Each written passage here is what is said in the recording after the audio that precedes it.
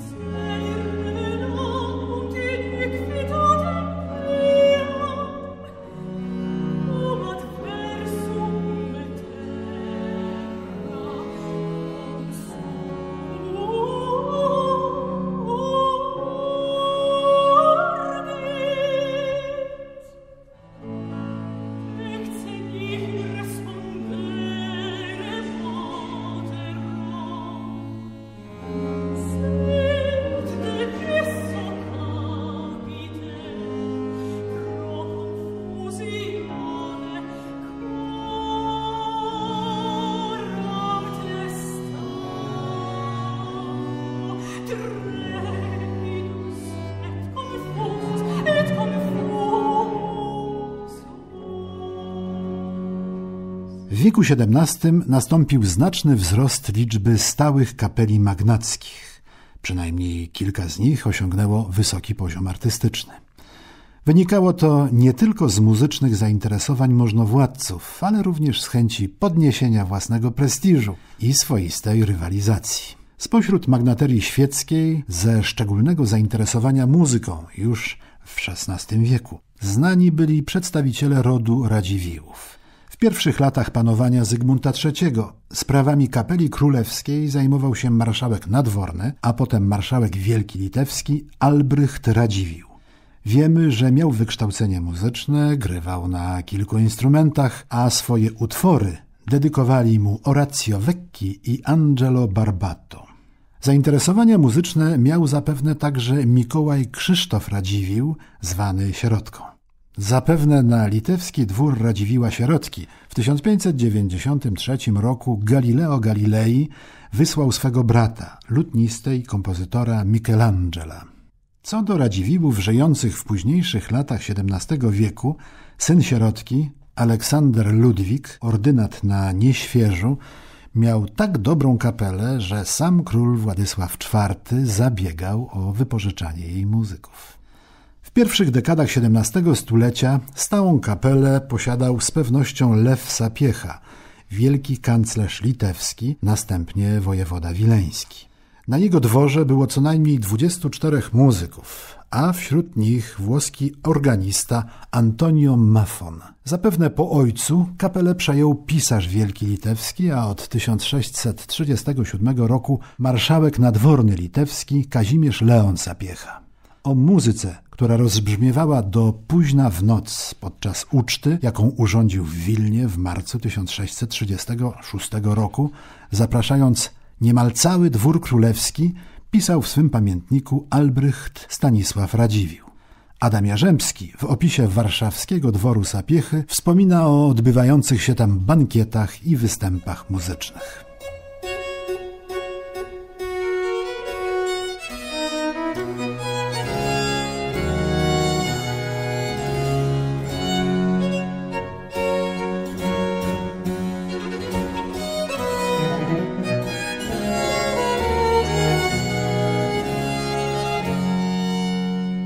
Pod koniec XVI i na samym początku XVII wieku znakomity zespół muzyczny utrzymywał podskarbi ziem pruskich Stanisław Kostka.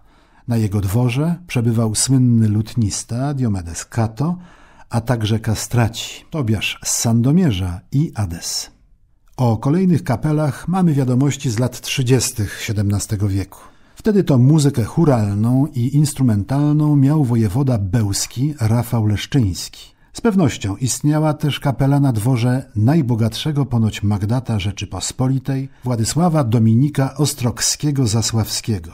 W jej skład wchodziło 12-17 wokalistów i instrumentalistów, kierowanych przez maestro di capella Jędrzeja Nosowicza. Obok tego zespołu na dworze działała kapela wojskowa. W latach 30. i 40. liczba bardzo dobrych zespołów magnackich znacznie wzrosła. O wielkości zjawiska niech zaświadczy to zestawienie. Posiadali je kasztelan sandomierski Mikołaj Spytek-Ligenza, margrabia Ferdynand Myszkowski, kasztelanowa krakowska Teofila Ostrogska, podczaszy koronny Mikołaj Sieniawski, wojewoda kijowski Janusz Tyszkiewicz, książę Janusz Wiśniowiecki, książę Jerzy Zasławski, marszałek nadworny Adam Kazanowski, wojewoda mazowiecki Stanisław Warszycki, bracia Krzysztof i Łukasz Opalińscy, podkanclerz Hieronim Radziejowski. Do połowy XVII wieku, czyli do czasu wojen kozackich i najazdu szwedzkiego, muzyka na dworach magnackich w Koronie, ale również na Litwie, rozkwitała. Zwiększała się liczba i poziom kapel, rozszerzał repertuar, wzbogacało instrumentarium. Wypadki dziejowe stan ten poważnie zakłóciły. Wiele zespołów uległo rozproszeniu, część zawiesiła działalność. Bywało, że na stałe. Magnaci ubożeli, umierali najwięksi patroni muzyki. Wysoki poziom muzyki udało się utrzymać przez dziesięciolecia na dworze zamojskich w Zamościu. Już w 1660 roku wystawiono tam cyda Piera Korneja, najpewniej w przekładzie polskim Jana Andrzeja Morsztyna. Udział muzyki w tym przedstawieniu potwierdzany był przynajmniej w odniesieniu do intermediów. W ich wykonaniu obok muzyków dworskich brali również udział studenci Akademii Zamojskiej. Wraz ze śmiercią Stanisława Lubomirskiego z pewnością znacznie zmniejszyły się wydatki na kapelę dworską w Wiśliczu. Obniżył się też wyraźnie jej poziom. Po ojcu mniejszą już kapelę przejął Jerzy Sebastian. Z kolei jego syn, Stanisław Herakliusz, odziedziczył po dziadku zamiłowania artystyczne. Choć prowadził aktywną działalność polityczną, w historii zapisał się przede wszystkim jako pisarz i poeta oraz mecenas sztuki – o szczególnych zasługach w dziedzinie architektury. Posiadał też zespół muzyczny, który składał się z około 15 śpiewaków i kilku instrumentalistów.